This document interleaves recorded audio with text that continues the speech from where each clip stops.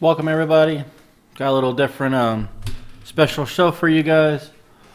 There's a lot of you know bad news going on and all this stuff stuff. So I want to do a little video about what a uh, New Mexico state trooper did to save a life. Um, I think it's good to spread the word that you know cops and troopers and law enforcement.